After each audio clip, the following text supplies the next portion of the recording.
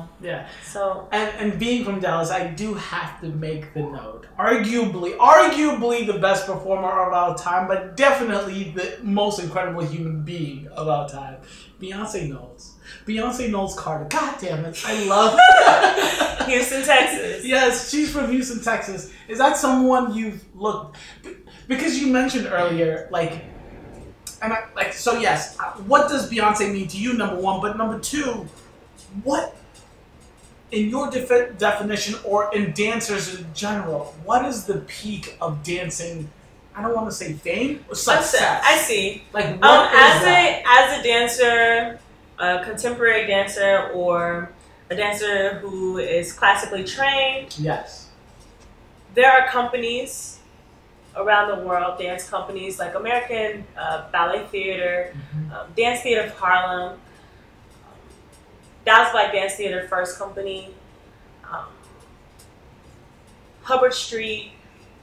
There are dance companies all over, Mhm. and basically the peak of your career is when you get accepted into one of those dance companies and you have a lasting career and some dancers um,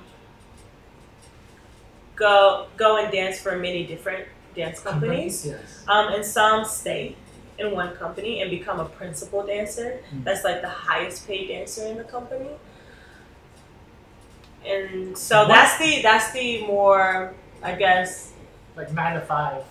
nine to five, yes. If you're gonna be a freelance dancer, then you're probably traveling and moving, hopping from company to company and dancing and working with different choreographers around the world. So, what do those companies do?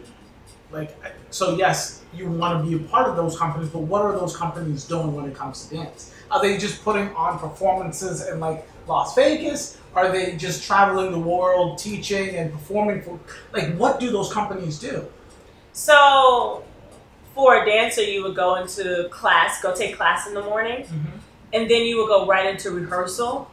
And so you would rehearse Monday through Friday like any other job, Yes. um, nine to five. Yes.